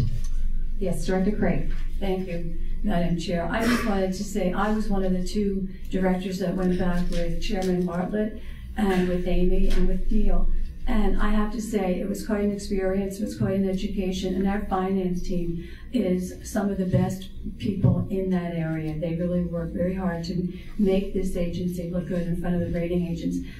And if you've ever been there, and I know some of you have been, they really play poker face. That you don't know where they're coming from. They're very friendly. They're very professional. But at the end of the day, you kind of wonder what their reaction is going to be. So it's uh, quite a show and tell, and it was an experience, and I so appreciate, and I will never forget. So um, Neil did a fabulous job, as did Lisa and did Amy.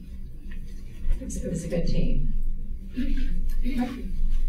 With that, um, we will move on to possible closed session. Do we have a need for closed session today? Yes, Madam Chair. Closed session would be a conference with legal counsel regarding existing litigation under Government Code 54956.9 subdivision A, the matters listed in the agenda, and also regarding anticipated litigation under Government Code sub, uh, section 54956.95 subdivision C. We do not anticipate before the last.